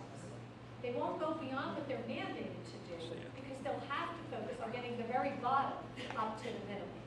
Now, will you see that happen in every district at the same time? No, you will not see that happen in every district at the same time. You will see it the most quickly in the districts who have the lowest socioeconomic students and the biggest money crunches. But as time goes on, it will invade all the districts because everybody will be measured to that low bar. Additionally, if you're a student and you don't have somebody kicking you in the pants to go beyond it, what do kids do? Least I have to do. So, oh, mom, it's okay. I'm there. So it's a general lowering and human nature compounds that. At the lowest levels, like in math, we slow the process down. So what they do, for example, in the elementary level in math, is you don't have to learn in this system the algorithm. An algorithm is you write the problem down and solve it, you know, 27 times 36, 7, times, 7 plus 6 is 13, write down the 3, carry the 1. That's an algorithm. They don't have to learn that addition algorithm until fourth grade. You learn it in second. Why? Because before that, I attended one of the training sessions, and what they did was called collaborative math where the kids all sit down and talk about all the possible ways there are to solve a problem, and they, they review each other's ways, and they, they analyze each other's ways, and we all talk about these projects, and we move more slowly. So they won't get there as fast either, because at the lowest levels, we've pushed everything back. So it slows the whole process down. That will take a while before those little kids get to high school, but if they move slower through elementary school, by the time they get to high school, that test won't be hard for them because they will have learned so much less at the lower levels. Which is why one of the developers said, it moves more slowly. They learn less content. That's, those are all public statements. You can go on YouTube and find them, they're very easy. Um, I don't know where. Okay, we're gonna, we have, we have two mics, and I'm gonna be on this side, and the other gentleman will be on that side. We're gonna let Peg pick a person that she wants to have a Um, question. there's a, uh, there's a lady and then a gentleman, so we'll do the lady and then the gentleman. Why do everybody want to First of all, I'm a classroom teacher, and I can't begin to thank you for the fight that you're, you're helping us to, to fight. Um, in, in January, February of this year, a document came out teaching grit, tenacity, and perseverance, and the tools, the technology tools that we use, a classroom teacher will use to assess children. As a grandmother of three widgets, I, I want to determine, or my, my the parents of my children to deter, or my grandchildren to determine what grit, tenacity, and perseverance are. How is that going to be implemented in the classroom? That, that troubles me deeply. Um, at the moment, that particular document is a draft plan. Um, actually, I read it and I talked to my son who's an engineer, he said that if the technology, they could put it in the classrooms, but they don't have the technology to monitor it. So it's, it's, we're not seeing that being implemented at this moment. It's kind of a future sort of thing that they're talking about, which is, it's a technological monitoring of the kids. And we're not there yet. There have been some isolated um, across the country, but nothing that I can track that is a uh, systemic monitoring, which is good to know. there's a gentleman right here in a red shirt, rose shirt, whatever.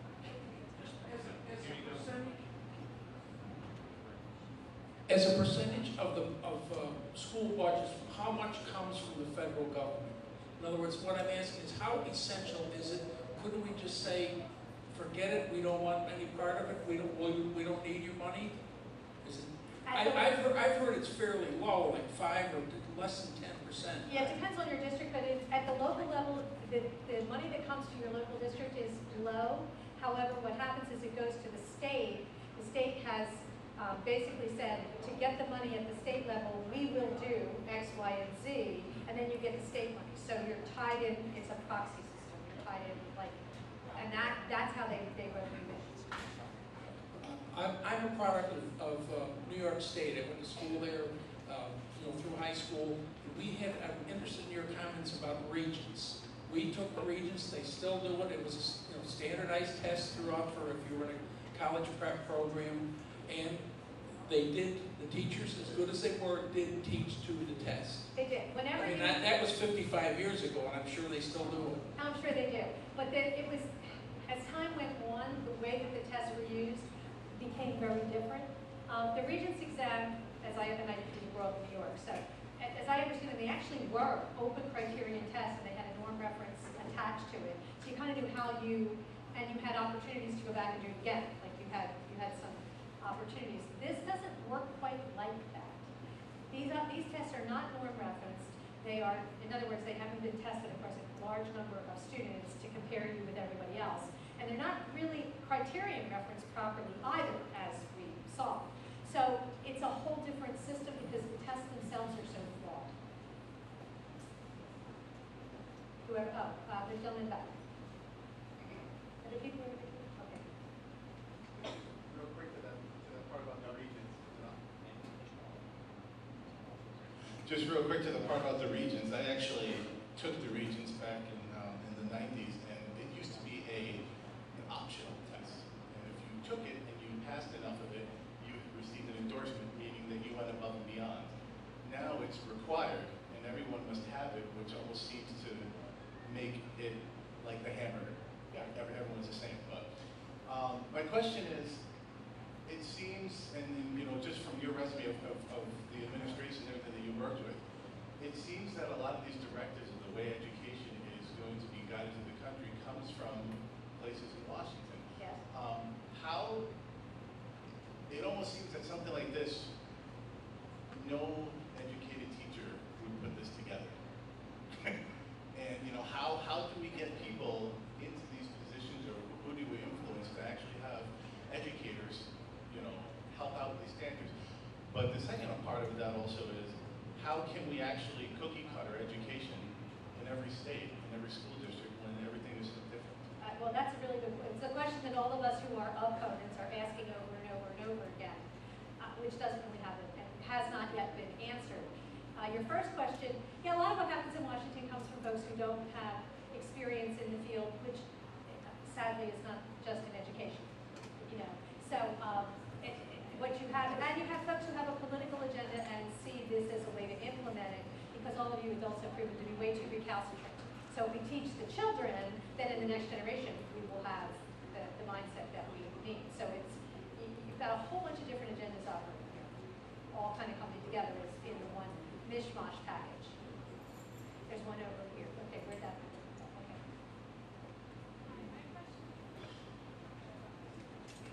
Hi, my question, um, I'm a special education teacher. What And, sorry, What exceptionality do you teach? just general learning skills, not like anything specific. Okay. Um, so my question is, most recently, second graders, you know, you learn coins and money, you learn the penny, you learn how to count a penny, you learn a nickel, you learn how to count the nickel. Um, this past school year with Common Core, they throw all the coins together and they're expected from day one, this is this coin, that coin, penny, nickel, dime, count them. And they can't. What, exactly, so now special education departments are having a very difficult time because you gotta keep the kids in line with everybody else and IEPs, are they gonna come up with like standardized IEPs next? Like what, how does Common Core benefit special education? The short answer is that it doesn't. Um, and I'm hearing what you're saying from teachers all over the state, teachers who have stood up in meetings like this in tears that they spent the whole year working with kids, and then they took that assessment and it destroyed everything that that teacher worked on all year because they picked out like a zero. Because they should have never taken the assessment in the first place. There is some, um, the regulations talk about, uh, some work toward developing alternative assessment methods, but within Common Core itself, we don't have a lot of flexibility inside the classroom, and it really does harm the kids who most need the extra support. It's a really, um, difficult and sad situation, and I don't have an answer for you, that's everybody that side. There's a guy there.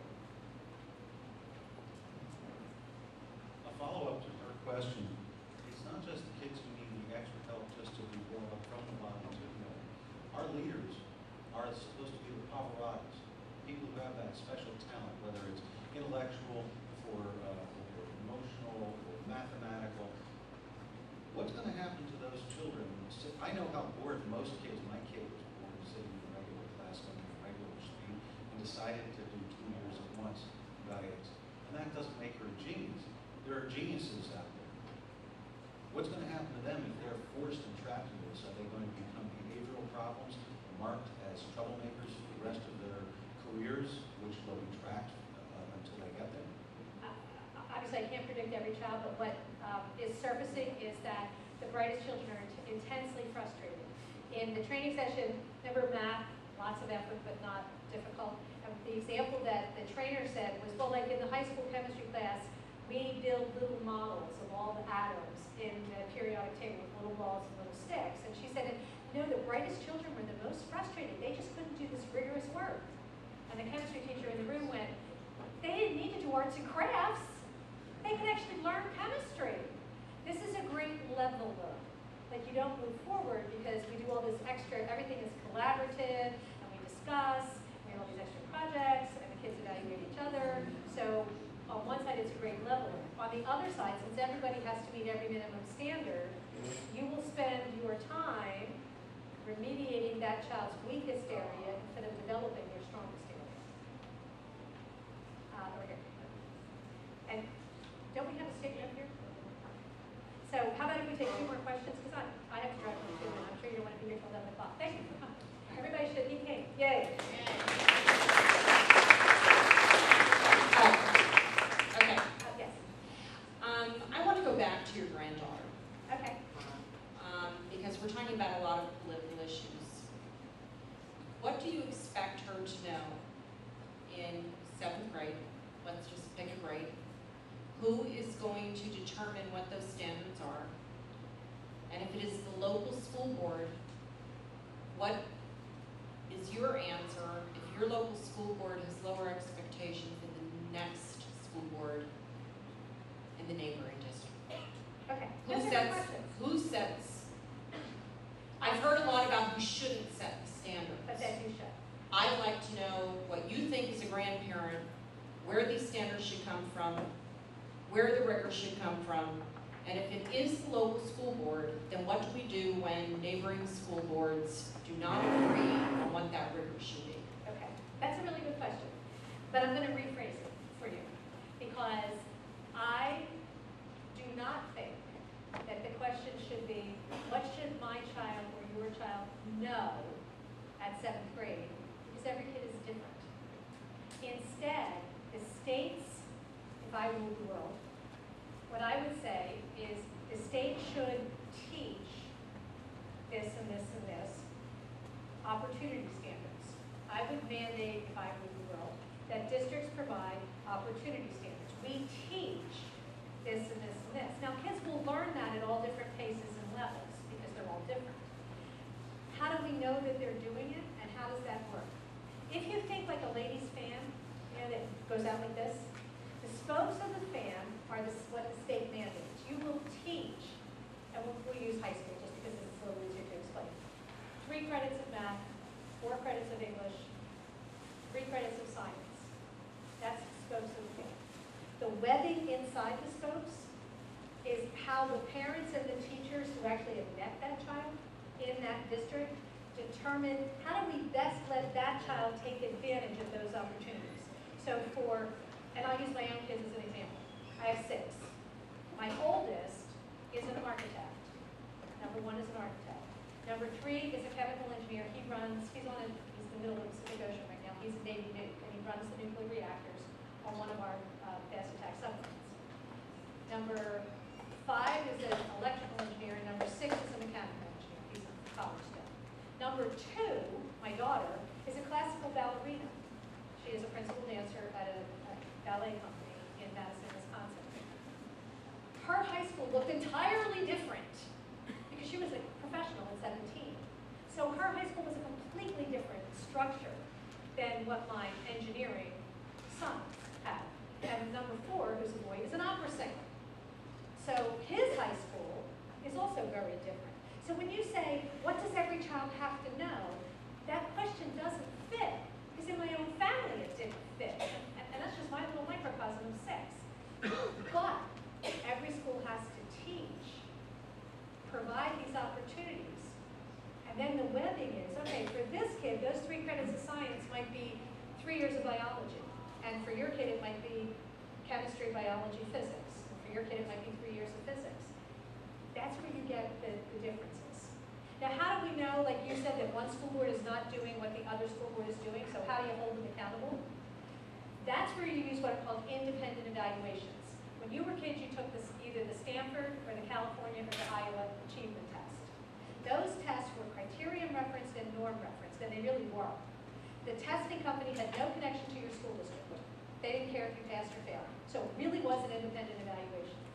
What the state, whatever you got back, um, results for your individual child.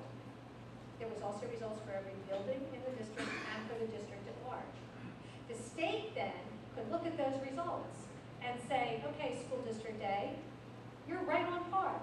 Your kids, your, your 50% mark is 50% nationally normed, you're doing great.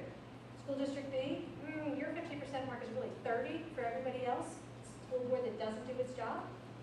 We, the state, are going to come in and give, we're going to have a bigger conversation with you because achievement isn't across the board where it's supposed to be. So how do we help you achieve that? And of course, if you're above it, great. How do other people copy what you do? It was an actual independent evaluation that was valid and reliable, unlike what this system is, which is neither.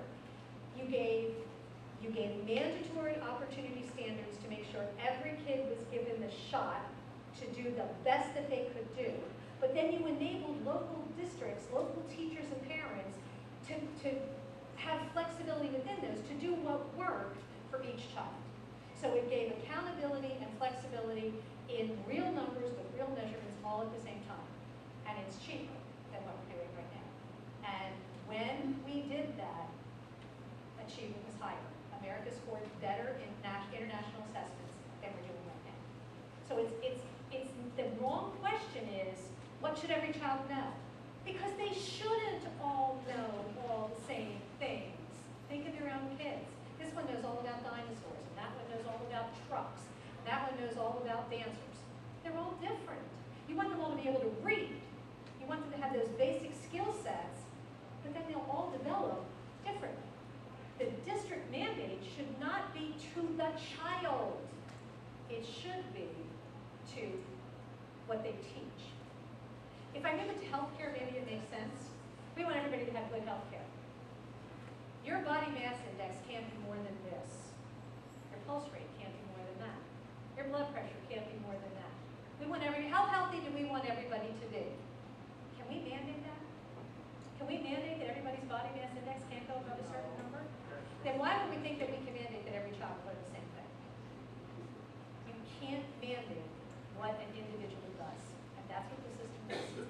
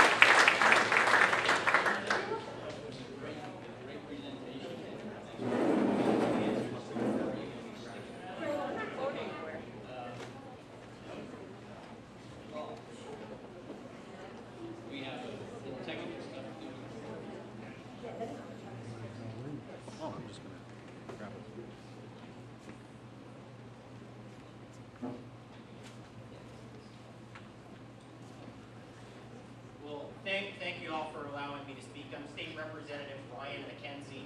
I represent this area here in Emmaus and all of Lower Macungie, parts of Salisbury, South Whitehall, uh, Upper Milford, uh, Upper Macungie, and down in Berks County as well. So I did just want to uh, be here tonight to provide a little bit of an update on, on what's going on in Harrisburg.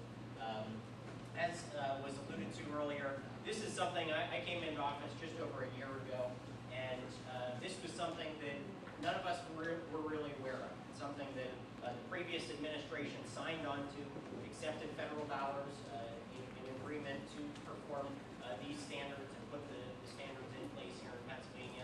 And they started by uh, putting forth requirements in English and math, things which, uh, you know, we've heard a lot about standards and a discussion about standards and, and curriculum. And, you know, as was noted also, we already have standards here in Pennsylvania. We, we have the PSSAs, we have the Keystone exams, so there are standards that are in place. And so, uh, when those went into effect in, in uh, a number of years ago, there, there wasn't a lot of discussion about that because eh, for most uh, people, there is an agreement that you can have standards around things like English and math. Those, those are pretty commonly accepted. The real question is who's setting those standards? We heard a lot about that. Who's setting those standards? What are the standards?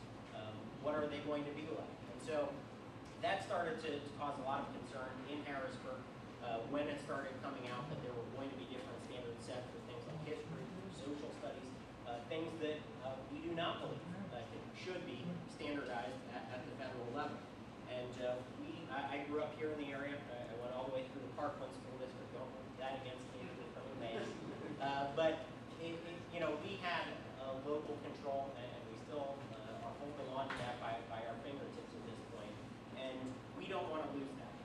Uh, we really don't. And so uh, that is the, the great debate. It, it's over who controls the standards, and, and we do not want to see that that power going to uh, the federal government and even to the state government. I, I work in state government, but I, I think these decisions are still best made at the local level. And so, in Harrisburg right now, uh, what is going on is that once it started coming to light, uh, I wrote to the state uh, Department of Education with, along with a lot of other legislators and said, at bare minimum, we need to slow down this process. And uh, when you don't know, uh, it was talked about how these uh, standards were going to be rammed through in, in a pretty short fashion, uh, that's a real concern. Uh, As we've seen with Obamacare and other things, anytime something gets rammed through the political process, which is inherently meant to be long, it, it's a cause for great concern. And so we were able to, to get them to uh, at least start slowing down that process a little bit. Uh, we were able to, to set up hearings in the House and the Senate to start understanding more of what's going into these standards. And, and uh, certainly forums like this are, doing a great job of, of educating the community as well.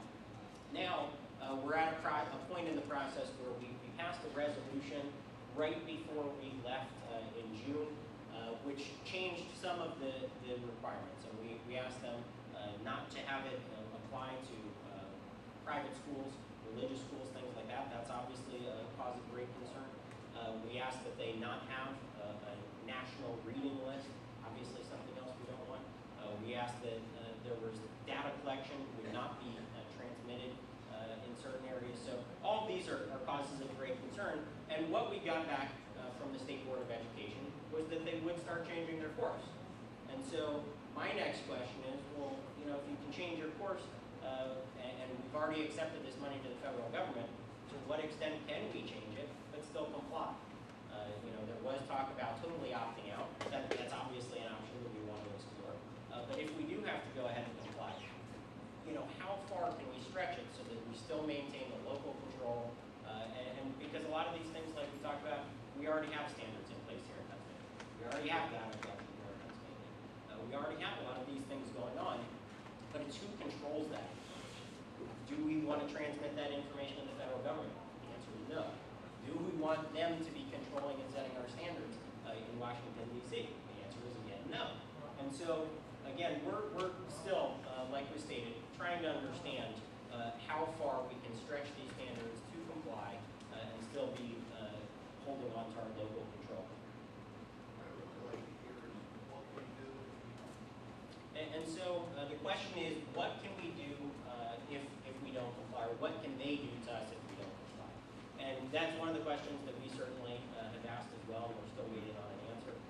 But it, it's something that throughout government, you see, uh, I, I, I can just anticipate what their answer is going to be. And that would be that if you don't comply, we will withhold all of your federal. Uh, we've seen that in other areas uh, in, that I in government throughout government, where if you, for instance, in workforce development, if you don't comply with, with the standards they set there, then we'll totally withhold all of your money. And, and so obviously, uh, we don't want that to happen. Uh, the federal government funds about 10% of our education here in Pennsylvania. Um, and so uh, there are certainly, again, uh, we're, we're exploring all options at this point, opting out, and we accepted $400 million up front. We have to pay back that money? We don't have $400 million right now uh, to, to give back to the federal government. So, you know, what would happen uh, if we break that contract with the Rendell administration signed with the federal government? We're certainly exploring that. Uh, we're exploring uh, what we can do to comply but still maintain our, our local control um, and, and not hand over you know, data and curriculum and things like that to the federal government. And then uh, also, uh, we just need to uh, really uh, continue this education process. And uh, as I would say, you know, sun, sunlight is the best disinfectant. And I think all of us agree that really education starts in the family. And that's, that's where education really starts. And certainly, state government plays a big role in, in government. Uh, about $10 billion of state money is going towards education here in Pennsylvania. It's about 40% of our state budget, so it is one of our top priorities. Um, but really, i- if you lose that local control, all of you have far less influence on, on what your curriculum is going to look like and what the standards are going to look like. Because we've seen here in Emmaus, when, when the curriculum or a, a reading list uh, has things on it that we don't like, you can go to your local school board and you can make a change. But once you cede that control to the state or the federal government, trying to make a change becomes much harder, and, and we can't go down that path. If we can wait again. I, I keep a little copy of the, uh, of the Bill of Rights in, in my wallet, and it says a lot of times in there, the Congress shall make no law, X, Y, Z. And I, I understand you gotta be nice sometimes when you, when, but you said we asked the, state government to do X, we asked them to do such and such. Is there a point where you personally and, and others that you know say, we, we won't ask anymore, let's just say we won't comply with these? Sure. And, and so the, you know, I think the question is a good one, uh, and in some areas we, we certainly do that uh, and push back and say we won't comply. I, I think they were very uh, smart in how they went about crafting this. Uh, they-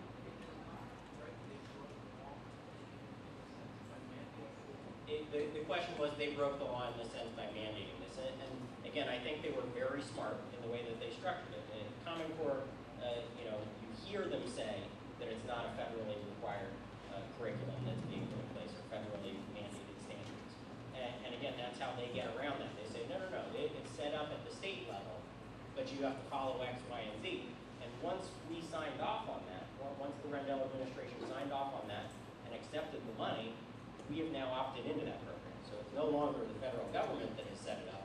The state government has, in fact, agreed to participate in this process.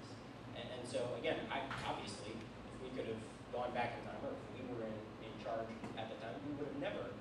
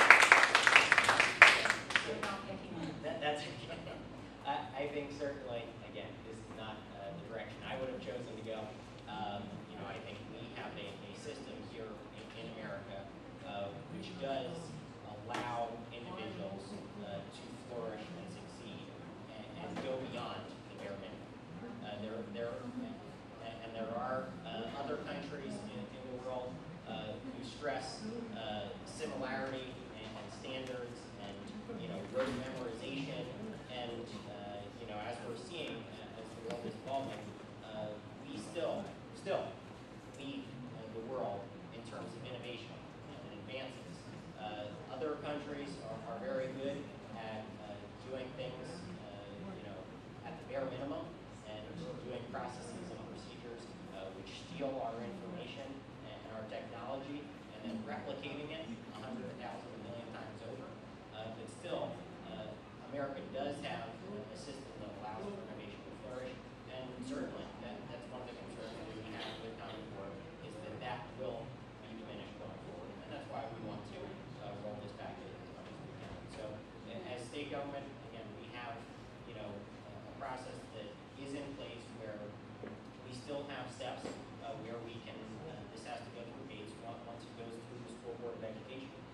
be sent to the governor's office. Uh, obviously, we, we have an opportunity there uh, with our governor to, to push back and to make changes. Uh, again, then it goes through the, the independent regulatory process, which is a, a typically a, a long drawn out process. And, and then it will still come back uh, before uh, the state uh, or the, the House and the Senate Education. So there, there are still lots of gates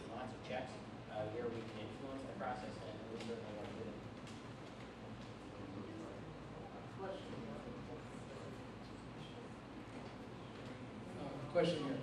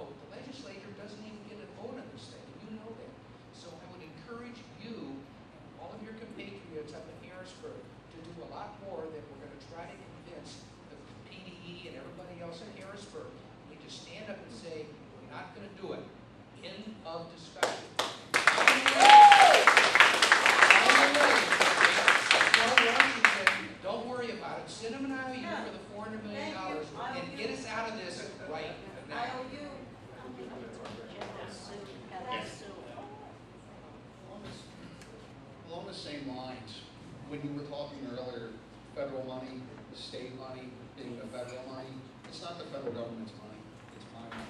It's his money, it's your money, it's your money. It doesn't belong to him. And in answer to what you asked, how have we gotten here where they do these things at night and we find out about them in the daylight when it's too late? It's happened because we have to go to bed to get our own money back.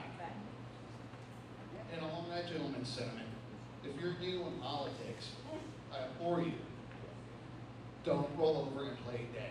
Stand strong. And do not, do I'm gonna, take. I'm gonna interrupt here and say, we need some questions. If- And I have something, Brian, I, I read where it's the committees now that are gonna work on this stuff.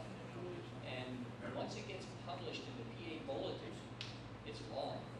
We don't need you, governor, or anything to sign on, and that by the end of September, this September. Is that true? That, that- that's not uh, exact. It, it's true that if it goes in the PA, so it is going through the regulatory process. Uh, so again, it's a, an administrative thing, again, that you've, uh, previous administration has signed on to. But it still works its way through a process. In September, they will, the State Board of Education will vote on those regulations, and then it starts going through the process where it goes to the governor's office, goes to the independent regulatory review board, and then comes back to uh, the House and Senate uh, uh, Education Committee. So uh, it's a, a bit of a longer process than you talked about, and that's why, again, and, and to this gentleman's point of us standing up, again, I've already, uh, you know, started influencing that process by uh, contacting them, uh, passing a resolution saying we want to roll back uh, these things which we can agree to before uh, we, we recessed for uh, the summer there. And so we have been influencing the process. We aren't taking it lying down. And uh, we are certainly going to keep fighting because there are, uh, as we've heard, a lot of uh, elements which are still very concerning. Hi, my name's Mike. Um, I used to live in New York, and I, uh, I served as a mayor in a small village, and in that position, I did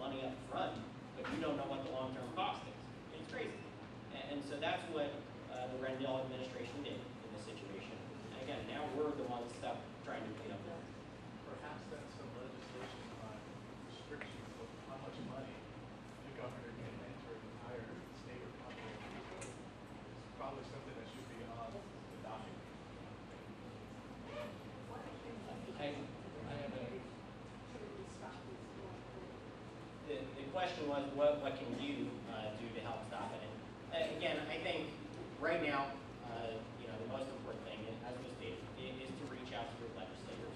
And I think, at a bare minimum, we have to slow down the process and understand what we can do to influence it, to, to maintain our control. And again, you know, there are situations, uh, where you can comply, you know, some of these things, uh, that were discussed, uh, which check the box,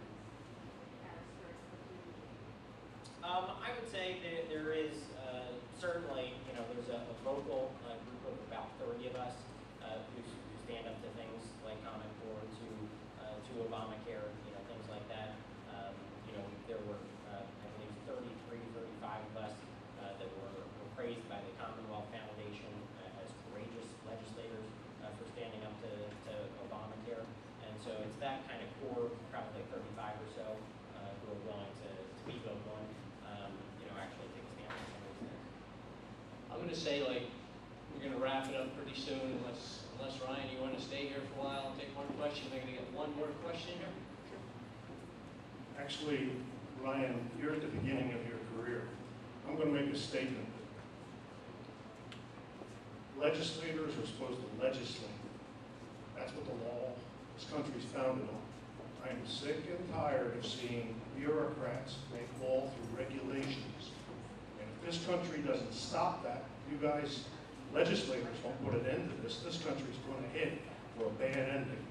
Thank you. Absolutely, and uh, let let me, let let me just tell a a very quick story uh, that I strongly, strongly agree with you, Otto, um, on that point. And so previously, uh, prior to coming to office, I worked at the Department of Labor and Industry in Harrisburg uh, as the policy director. And what happened there uh, was that we were working, uh, I had been contacted by, by a a contractor, uh, a construction company here in Pennsylvania. And they had been, uh, they were working on a project. They received a letter uh, from the Department of Labor and Industry saying that their project fell under prevailing wage. And he said, well, I don't, I don't agree with this, you know, and so he contacted my office and said, you know, I don't agree with this assessment. He said, uh, the law clearly states that prevailing wage only applies you're doing work on this project, not if you're a supplier of materials to this project. If we go and drop those materials off we don't have to pay prevailing wage. And so he said, this, that's what the law says. But he said, the bureaucratic interpretation that I received is that I have to pay prevailing wage. And so I looked into it to him, and I said, I said, no, you're right. I said, the, the law is very clear. Uh, what you're doing would not fall under prevailing wage, so you won't have to pay these prevailing wage rates. And so we went, we found out who the attorney was who, who had written this letter, and I, I asked him, and he said, well, that's my reading of it. And I said, well, hold on a second.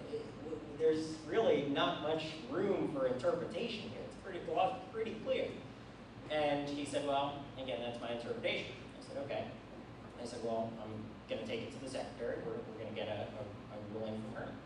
So I elevated it up to the secretary. She said, I, and she's a, an attorney. She's been a prosecutor her entire career, uh, has a very extensive and good legal background. She said, no, Brian, I agree with you. This person shouldn't have uh, been paying with the prevailing wage rate. And, uh, you know, it was the wrong decision that was put out by the, this lawyer. And so I said, okay, well, what are we gonna do about it? So she called, she says, we're gonna have a meeting. We'll call in that, uh, the, the attorney, a a bureaucrat, as he put it, uh, Otto. We're gonna call him in and we're gonna ask him. And so we did this. We, we actually had him come into the, the office. Um, and she said, well, okay, let's talk about this case. We ran through all the facts. She said, how did you come to this? I said, well, again, it was, it was my decision, but I didn't come to it on my own. And she said, well, who, who else was involved? And he said, well, I took a vote amongst the other lawyers in our office, and we agreed that this should have been prevailing wage. And she said, but that's not what the law says. He said, well, a majority of people in the office agree. I mean, this flies in the face of common sense. And so, uh, the end of the story is that that individual was fired, and that company received their wages back that they didn't have to pay in prevailing wage. And so, that's a nice story, where, where the resolution was a good one. We, we got the outcome that we wanted, the correct one that, that was uh, upheld by the law. But just imagine when you're dealing with a bureaucracy thousands and thousands of employees across the Commonwealth who are making decisions like this that go against the law. And as a legislator, Ira, you're right. I mean, we are trying to, uh, you know, put out these fires wherever we can. Anytime I hear about things like this in my office, you know, all of a sudden we start the, the chase, you know, getting to the end of it and, and putting a stop to it. But it, it is a much bigger problem than any one person can tackle because the size of government has gotten so far out of. And I, I, I go back and forth in my mind about term limits. Everybody talks about term limits. If we have term limits, then, as this gentleman said, we need running of the government as bureaucrat. They're there, they're there, they're there, after your eight years. I'm gonna ask if we could stick to the common core topic here. I'll stick around, we'll, we'll talk about that. Yeah, if it's all right, I'm actually gonna end, end our program tonight. Thanks tons for coming. The most important thing now is you go out and you tell everybody else what you heard tonight. To tell him what you think he should be doing. Look into the facts, check things out. There's a paper over here where, uh, there's a program that I think, uh, Peg must have mentioned a friend had, uh, I don't know if you wanna talk about that at all? Okay, a way to contact your legislators on this particular topic. You want to check it out, it's in the back table there. Uh, Ryan, thank you very much.